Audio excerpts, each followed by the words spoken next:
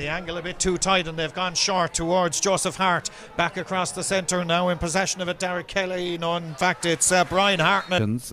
Uh, is allowing, you know, what's happening in front of us to happen in terms of all these turnovers. Uh, you know, people giving the ball away between the lines and uh, in turns making a lot of lot of physical challenges, and you're seeing a lot of turnovers.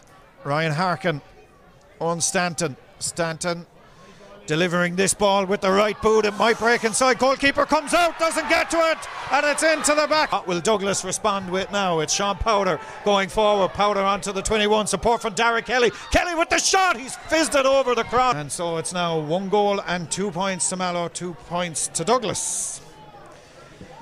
Three points to Douglas. For Mallow now, just, just all they have to do here is just get the next score. Just make sure that Douglas don't get four in a row. Just get the next score and just keep control of the game. Oh, they won't here now as Andrew Cotter gives this ball inside. Opportunity for Derek Kelly. Shot goal! Derek Kelly. You know, direct and dynamic runners that you'll see on the intercounty stage. As great Cotter score. kicks yeah, that. Yeah, Fine score. Fourth of the. Then just lost the ball there. Once he lost it, the goal was gone, really. Andrew Cotter has put that between the uprights. Against the wind. You control the game. You play it at a pace that you want to play it at. Cotter with the 45 into the breeze. It was almost effortless. Wilson, the Mallow defence, who have 14 men behind the ball, holding strong as Niall Hartnett finds Brian, gives the hand pass inside towards Sean Wilson. Brilliant move now towards Daniel Hart. Effort, goal from Daniel Hart. And Stanton down that far side of the field. Ryan Harkin, Harkin from the 45. Needed score, and Ryan Harkin nearly be a free out. But Matty uh, Taylor afterwards. Sean McDonald looking for their second score in the second half. They've gotten it. Of it on the 21.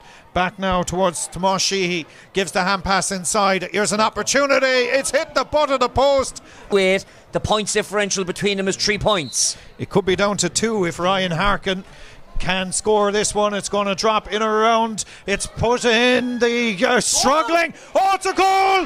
The points difference is now at zero. Oh, Matty Taylor certainly doesn't. Taylor is on to the 13 thought about giving the hand pass. He does. The shot goes in and it's over from. You'd imagine so, but Mallow through Sean MacDonald have won it off towards Pa Hurley. Hurley he goes through, chips it in and chips it over the crossbar. And hosed, one would have thought. And now all of a sudden there's going to be one between them. Is there as Ryan Harkin kicks that one in and has the attacking 45 still going Powter. Hand pass towards Alan O'Hare. They need a goal. O'Hare shot. It's in and deflected over the crossbar. Seen here as Mallow come forward forward. They still trail though. Stephen O'Callaghan lays this one off. The effort comes in. It's high and it's over the